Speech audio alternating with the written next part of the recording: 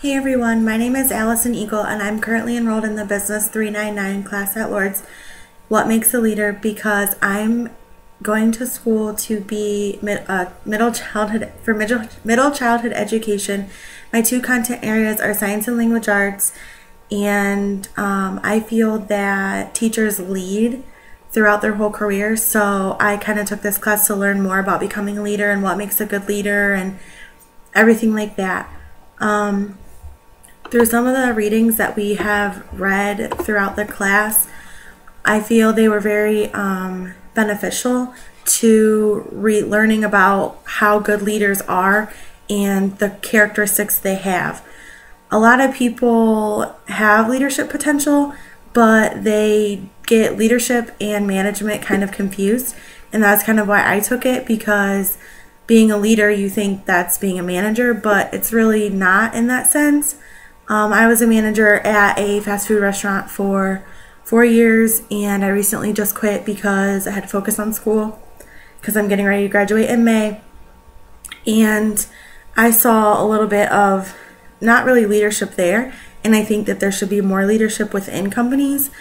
Um, I feel like people who carry out their jobs that they're asked them to do, but they don't technically lead others. Usually, you know, you're telling people what to do and um, you're not leading them. You're just do this, do that, do this, do that, instead of, hey, why don't you do this this way because, and um, stuff like that. So I think that being consistently trained and monitored is important. And um, so, not really doing it better or faster, but getting it done the right way the first time. And you should lead them to how to continue on that path and how to go, you know, about their lives being a good like leader. And I see as teachers are leadership role models for students because, you know, they're the consist they're the constant in the students' lives. They're always there every day. They see you every day.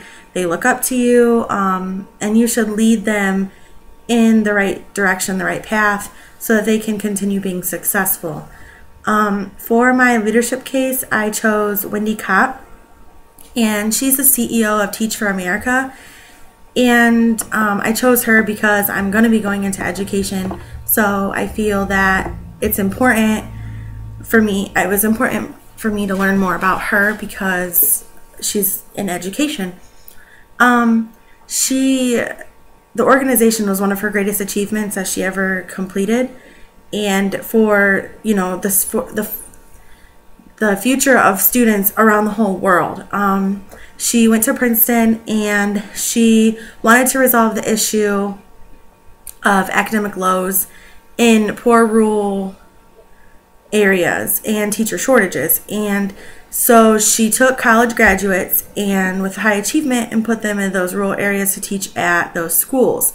They kind of go through like a program um, that they go, they get out of college and then they enter in this um, kind of like a leadership program for children, and um, it opens the doors for children all over. So this, she began her first fight in 1989, and it's grown. Teach for America has grown for 23 years. She actually worked for a company called Teach for All.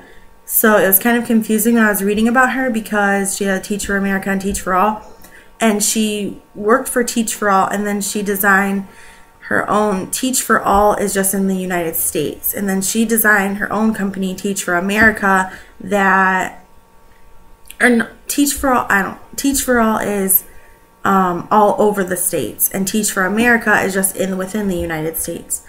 So she was very influential to me, and it was interesting to see um, the organization and how it expanded educational opportunities. Um, it gives children who are overlooked a chance to achieve to their true potential and I feel that there's a lot of children that, you know, don't get their true potential because they, you know, they either drop out or they don't have the support at home. And it just, I feel that every student needs to have, you know, that foundation in their lives because everybody deserves a good education. Everybody deserves a chance. Um, unfairness within the education system is a problem, and I think we all need to work together to change things and create an education system that allows everybody to reach their full potential and achieve the same educational excellence. Um, so, graduating seniors go into the company. They are have five weeks of training within the company before they go off to some of the country's worst classrooms. So you can go to um, a classroom in the United States, or you can go to a classroom in, you know, a different country. It's totally kind of where you choose to go and where they need you to go. Um, she knew what needed to be done, so she did it. And that's what I like her. She was a leader because she focused on what needed to be done and she got, she did it. She didn't, you know, rely on somebody else to motivate her to do it. She became a leader. She saw what the problem was, so she led others into fixing the problem. And I think that's what we need more people like that these days because she helped others achieve greatness and she achieved greatness herself she, you know, became a CEO. She won awards. She wrote books. Um, so I think that, you know, it was a good. She was a successful leader because she was motivational, and she was encouraging, and those are the characteristics that I feel that leaders really need to be successful. Um, I think that a lot of people don't understand you know, you have to put your own feelings and beliefs behind you and do what's best for the company. So maybe she, you know, she did what was best for others and she put her own feelings behind her and came up with this great organization to help others. She, you know, you always have to have an open mind and you know, you have to be open to hearing different ideas. And I'm sure, and that's how she was. She sent these students out to, she, they did their training, sent them stu- students out to different schools that needed help. And she probably asked them, you know, what's going on? What needs changed? Do you need more training? And I feel that training is the key, and a lot of people aren't successful. Where I worked, we gave people four days of training, and it was probably four hours each and then it, they were sent on their own. And then you know everybody would wonder why they didn't do a very good job. Well they don't have enough training. So i think training is key. So and it's successful you know it makes you successful. Um, and they don't ever follow up on training. So i feel that you know she followed up on her training and that's why her company was so successful because she was a good leader in all.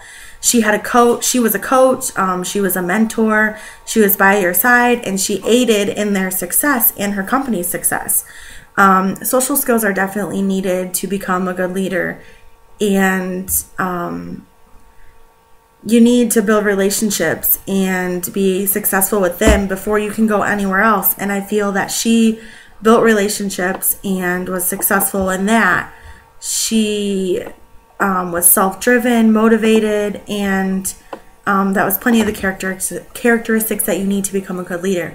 She was recognized as Time Magazine's top 100 most influential people.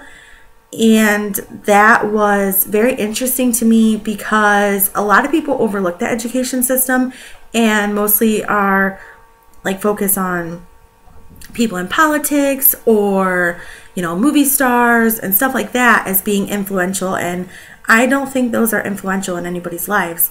I think that, you know, she's making it better for everybody in the education system. So she raised the bar for the system to become better. And I think that, you know, for being, a, she was a top notch leader because she was influential in people's lives. Um, she led it for 24 years and she wrote she did transition out of CEO but she's still an active member within the whole board and she wrote two books which I still want to pick up and read I just haven't had the time um, the one book is called A Chance to Make History What Works and What Doesn't in Providing an Excellent Education for All and then One Day All Children The Unlikely Triumph of Teach for America and what I learned along the way. So I think those two books would be really good to pick up and kind of read about it. Um, so more about the approach that they do, which I think they their approach is good because then those um, recruits come out as successful leaders too. Um, college seniors want to become teachers in low income communities and they commit to teach there for two years. So during the two years, they're called corps members. Um, they train, they support you, um, they teach you how to, you know, become great teachers and leaders, and they auto they always are increasing the opportunities that are available to you and your students, and you know, the life of everybody involved with hard work, perseverance, and a strong partnership. So they really focus on partnership within families, community, and I think that's what teachers, you know, sometimes teachers overlook, you know, building relationships and building partnerships with families and communities. And that's really what's important. Um, as teachers, you need to build relationships with everybody you're going to come into contact to. Because if you don't have good relationships with them, then it's just not going to be, you're not going to be successful. Because how can you, you know, tell them what you want or tell them what you need or tell them how their student is doing if you can't you know tell them um, like have a strong partnership with them in a, in communication like communication is key and i think that is what makes a good leader too um, there are 10,000 corps members within 50 urban and rural regions of the united states um, they have instructed more than 3 million kids in 34 different states and over the past 21 years. Um, it's just the lack of equality for children with low income communities isn't a reflection of their potential. So it's really not, you know, they, it's not their fault that they can't gain this awesome education because they don't have the funds or they don't have the support and it's not fair to them because they deserve, you know, what everyone else deserves. They deserve a good education and she wanted to be able to take on the responsibility of an important role that would lead those students into making a significant difference in the world today. Um, she wanted those students to have everything that they needed to be successful and not have, not be downgraded or I can't think of the word, but you know, not have what the student whose parents make millions of dollars, um, or not millions of dollars, but hundred thousand dollars a year, or this and this and that, have the newest clothes, have the newest shoes, have the newest technology. That's not what you know really is success makes you successful. They these students just don't have the resources that they need. So she wanted to provide the resources for them. Um, she expanded their opportunities. Um, she's just a very, very, very influential person in my life. And I think that she could be influential in a lot of other people's lives. Um, I just look up to her because her corps members that work within the training or the program they wake up each day determined. They want to make a difference within their classroom. Um, they just want to have their students like gain the fullest knowledge that they can and be successful. And um, she also, there also is after the two years, you are an alumni within the Teach for America program. So you can either continue to dedicate your lives to the fight or you can just you still you know you can go on and get a job teaching elsewhere or you know do whatever you want to do next. Um, a lot of them stay within the stay within the program because they just see that it's you make such a big impact on their lives. And that you are the leader and the role model within them so if you leave, then they might not have that support, that leadership role model like they had, so they might not be as successful as they were. Um, so it's kind of sad that students who are born with within poor families, it kind of determines the kind of education they'll receive and their options in life. And that's just not what Wendy Kopp wanted. She wanted those students, she didn't want their um, economical status to hinder their education and the help they receive. So she recognized that there was a problem, so she took it upon herself to organize a foundation and provide children with an excellent education. Um, she was just, I think that, you know, a lot of people these days need to realize that leaders don't, you know, it's not just, I want to do this and you're going to do it my way, you know, my way or the highway. It's not like that. Um, you need to be open minded. You need to take in everyone's opinion. You need to show that you understand that there's going to be problems along the way. And you need to work with your team and your community and no matter what, no matter their background, no matter, you know, the device the diversity, it's just, you know, um, you just have to look beyond that and keep going on the straight and narrow and continue what you want to do. Um, so it's just, it's a really strong um, thing that I have because I, you know, did methods and I was in the classroom for two months. And, you know, I saw potential in so many students, but they just didn't have that support system at home.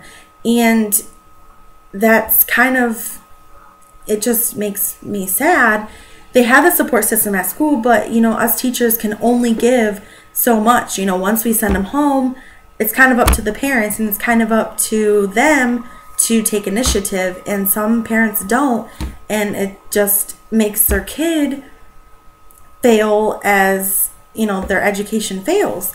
And um, so there's just a lot of obstacles that you face becoming a teacher, but you know, you're it's just a passion that we have and there's something embodied within that just keeps us going and that we know that these students deserve the best and that's what teach for america does you know these teachers face a lot of obstacles daily like they face ob- more ob- obstacles that i probably haven't even seen within my experiences in the classroom and nor will i probably never see them unless i work within these really low poverty classrooms. Um, but they persevered, they overcame them. I mean, this company has been going strong for a really long time and, you know, 20 some years.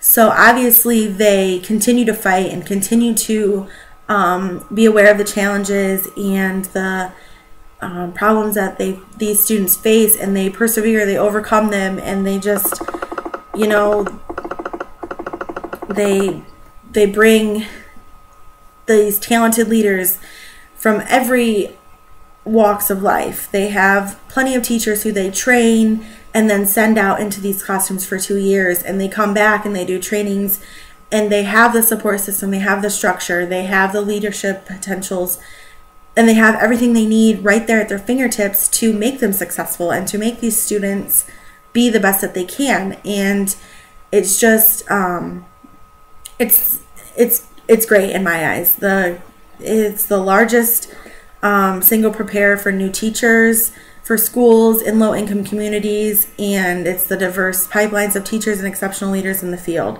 Um, the leaders have a positive impact on the students, and the demand for the teachers who work through the Teach for America program is high. There are many new partners. There are schools who want to partner with them all the time within their organization because they see the impact that their teachers have on students and the community and that school. So they know that they're receiving the best um, education and trainings that they can in order to teach those kids and have the educational deeply within their system. Um, so it's just it's just it builds so many leadership leadership between each and every corps member alumni staff member. They just come together and strengthen the whole community within the school that they work. And in my eyes it's just a very good program. And i think that it would be really great to kind of look into and maybe i could um, be involved within the program. I haven't really looked about applying, but I know on their website when I was doing research that you can apply. And um, work for them and um, be one of their teachers in their school systems. And I think that it would be a great opportunity because, you know, I could get a job at a really low income school and not have the resources that I need to prepare myself and prepare my students to give them the best education. And this program, you know, gives you resources, tells you how to do it, what to do, and it's just overall great. And, um, you know, I think that leadership just, you have to be open minded and you have to be you have you have to be firm and stand your ground but you have to know that there's other options and other people's opinions out there that you need to take into consideration.